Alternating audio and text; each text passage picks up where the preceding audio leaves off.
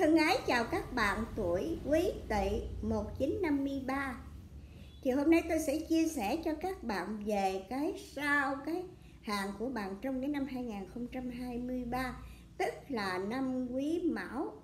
Mà khi chúng ta biết tuổi Quý Mão là nó thuộc về cái con mèo. Còn mình là người Quý Tỵ là cái con rắn. Thì giữa mèo và rắn nó có cái sự là kiểu là ừ, không phải gì là tương thân tương ái, nhưng mà cũng không ghét ghen nhau, cũng không có hại nhau. Cho nên nó mình trong cái năm này mình sẽ được bình ổn hơn. Mình không có vấn đề là mình không phạm thái tuế.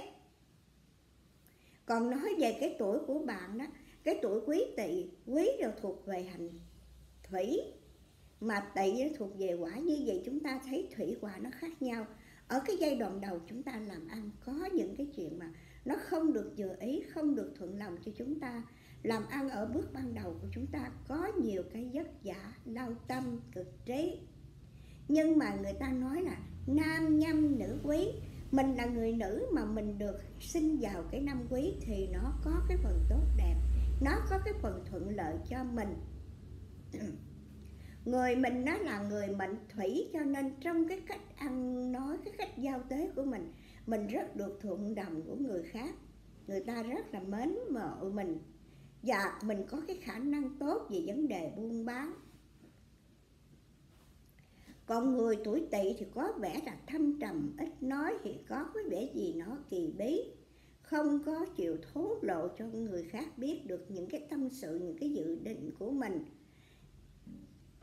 Buổi đầu của bạn làm ăn có khó khăn, có nhiều cái áp lực trong cuộc sống nhưng mà về sau về già thì hiện tại với cái tuổi của các bạn thì đa phần là các bạn có đông con đấm cháu. Người quý tỵ nó hiền lành cho nên có cái vận niên nó chỉ nói về là uh, bạn là người thảo trung chi xà nghĩa là cái con rắn cỏ thì nó cũng không có cái tính gì độc địa mình là cái con người hiền lành và bạn nữ trong cái năm 2023 các bạn gặp một cái sao nó không tốt đó là cái sao thái bạch. Và hạn thì hạn thiên la. Vận niên của mình trong năm á là, là vận thỏ lộng nguyệt thố lộng nguyệt. Thì năm 2023 là bạn được 71 tuổi rồi. Bạn không phạm kim lâu. Xin lỗi bạn phạm kim lâu nhưng mà bạn không phạm quan ốc không phạm tam tai và không phạm thái tế. Phạm kim lâu đối với cái tuổi mình đó thì cũng không có gì đáng ngại tại vì tuổi này không còn chuyện gì vấn đề về cưới gả nữa.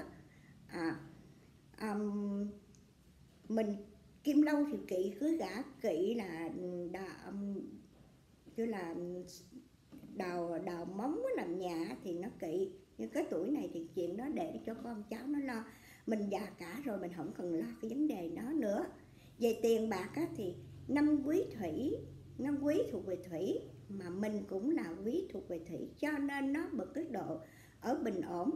Mình tiền bạc mình không nhiều mà cũng không có không nhiều cũng không ít. Công việc thì cũng bình yên sức khỏe mình thì có cái nó không có bị khắc kỵ. Tại vì mệnh mình là mệnh thủy mà gặp cái năm kim cho nên nó được bình yên. Và nhưng mà các bạn chú ý về vấn đề gia đạo của mình à, một chút nha.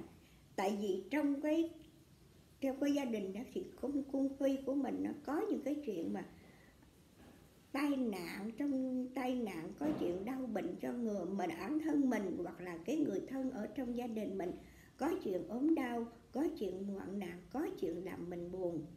Cho nên nó không mấy gì tốt đẹp bây giờ nói qua về cái hạng thái âm của bạn. À, là hạng thái bạch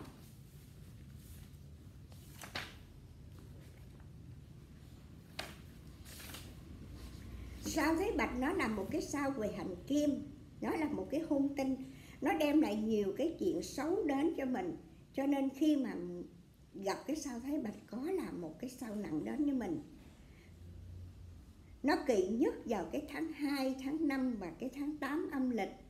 Màu sắc hợp với cái sao thái bạch đó là màu của màu thổ nè và màu của màu kia màu của mệnh kim nghĩa là chúng ta nên chọn màu áo này chúng ta chọn màu nâu nè màu vàng đất và chúng ta tránh đi cái cái màu màu trắng. Chúng ta màu trắng nè chúng ta màu màu vàng màu vàng ánh kim chúng ta không nên mặc áo màu đỏ màu tím màu hồng tại vì nó tượng trưng cho cái hành thủy. Mà sao thấy bạch thì nó khét cái hành thủy hai cái không ưa với nhau. Sao thấy bạch nó đem lại nhiều cái chuyện xui rủi cho mình trong cái cuộc sống như ốm đau nè bệnh hoạn mà chúng ta hao tiền tốn của. Chúng ta bệnh thì nó không phải làm mong một ngày một tháng mà nó cứ rề rà nó làm chúng ta có bệnh mà khó chữa. Chi mà chúng ta gặp cái à, sao thái bạch chúng ta cũng dễ gặp rắc rối trong cái vấn đề liên quan đến pháp luật. Chúng ta làm ăn thì nó lận đận. Chúng ta kinh doanh thì nó gặp nhiều cái um, tiểu nhân hãm hại. Nhưng mà bây giờ với cái sức của bạn với cái tuổi cái này thì tôi nghĩ rằng các bạn đã giao công ăn việc làm cho các con các cái rồi. Mà mình không có cần mấy quan tâm gì vấn đề này thì kể như các bạn cũng không mấy gì lo lắng nhắm nha. Và sau hạng là hạng thiên la. Hạng thiên hạng thiên la là cái hạng làm cho chúng ta hao tài tốn của nha. Vợ chồng dễ cái gặp xa cách với nhau, có nhiều cái mà mình không nhường nhịn với nhau. Nhớ những với những cái mà nó rắc rối đến pháp luật, thì nó cũng giống như cái cái à, cái sao thế bạch của chúng ta thì bây giờ chúng ta gặp cái sao thế bạch. Bây giờ hạng thiên la nghĩa là nó chồng thêm một cái phần áp lực cũng giống y như trong cái cái sao thái bạch. Làm chúng ta hao tài tốn của nè. Chúng ta dễ mang tiếng thị phi, gặp nhiều cái điều tiết không hay. Nhưng tất cả sẽ qua đi. Tại vì bạn có cái vận niên vận niên là thỏ lộng nguyệt. Thì lỗ lộng nguyệt là cái con mèo nó ngắm răng. Ở cái tuổi của mình rồi tuổi dài như vậy thì chúng ta có thể bình yên để chúng ta vô tư rự. Chúng ta nhìn trăng chúng ta nhìn đàn con cháu của chúng ta vui vẻ um, hạnh phúc bên nhau. Chúng ta gác bỏ mọi ưu phiền để mà chúng ta tìm cái niềm vui trong cái vấn đề tinh thần của, của mình. Thì cái tuổi già thì chúng ta cần sức khỏe nhưng mà chúng ta cũng cần nhiều về cái tinh thần của chúng ta thoải mái thì như vậy là chúng ta sẽ cảm thấy hạnh phúc, hưng phấn trong cái tuổi già. Thì chúc cho các bạn có nhiều sức khỏe, các bạn gia đình của các bạn vui vẻ, thuận thảo với nhau. Một năm 2023 nhiều may mắn và hạnh phúc nha. Thân ái chào các bạn.